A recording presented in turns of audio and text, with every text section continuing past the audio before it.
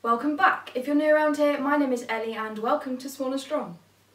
I don't really know where to start with today's video, so I suppose I'm just gonna dive right in. I've made the decision to not go back to drama school. So I've trained in musical theatre and acting professionally since I was 16. I'm now 19. I've done three years of it. I did two years on a BTEC course and then one year on a foundation course. And after that, most people would decide to go on and do a three year degree course, but I've made the decision that that's not for me. My main reason for this is that drama school as a disabled person is a struggle. It's a massive struggle. I don't think drama schools are equipped to deal with many disabled students and especially not complex disabled students. When I first went to drama school at 16, I decided that my disability wasn't going to be an issue. I had letters from my doctors saying that I could still do the course and I turned up and I expected myself to be able to do everything like everybody else and I decided that that was what I was going to do.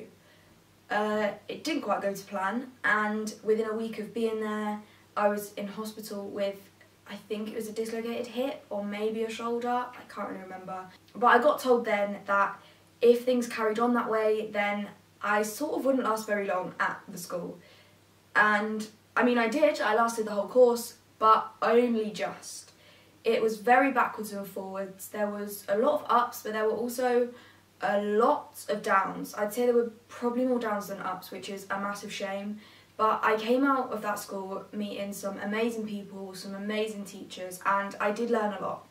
The second school I went to for a foundation course, I also came up against some teachers with not the best idea of what disabled people could or couldn't achieve, or how a disabled person needed to act or carry themselves.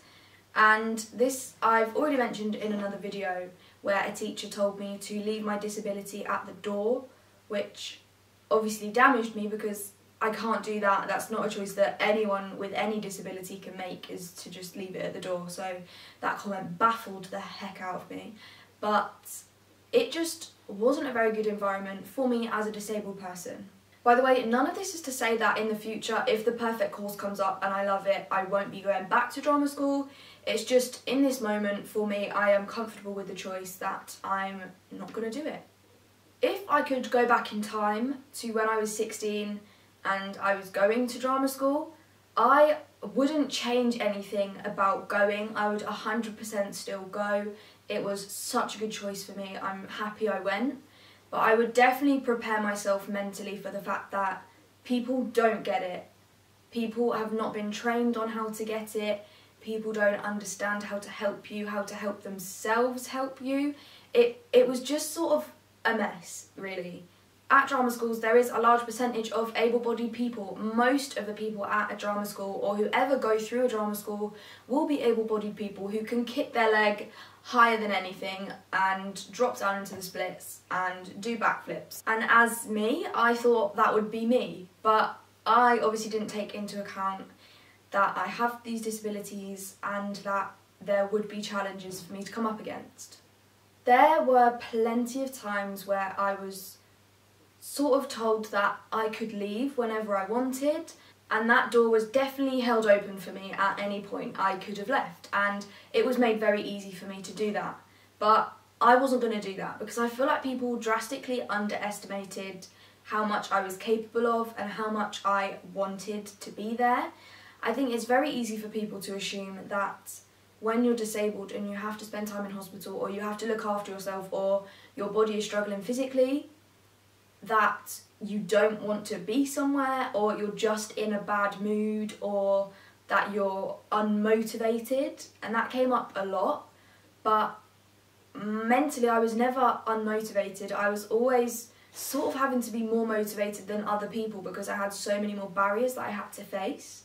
But when I was at my foundation course it was made very obvious to me that I was going to come up against this a lot in the drama school system. I was under the impression that the first school I went to just didn't know how to deal with someone like me and hadn't really come up against disability before.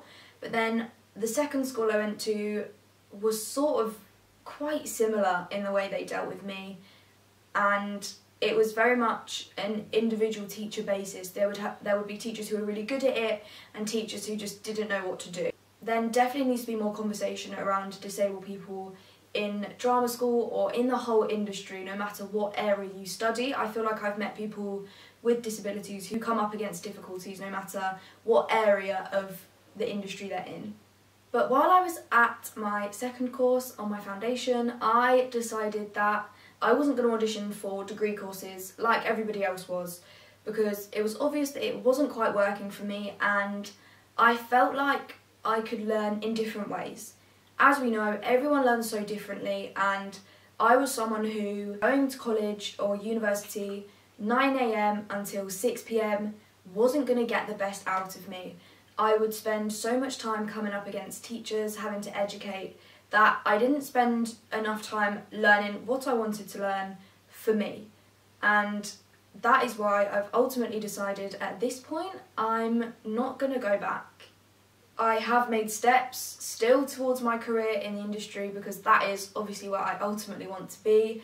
I have gone out and I've put loads of work in and I have got myself an agent so I'm now a represented actor which I'm so happy about because there's some people who really didn't think I would ever do it and I'm doing it and I'm going to do it and I'm going to keep doing it. Use every opportunity that is to learn because now I'm in a really good place physically and mentally where I can learn and look after myself at the same time and make the puzzle pieces fit together.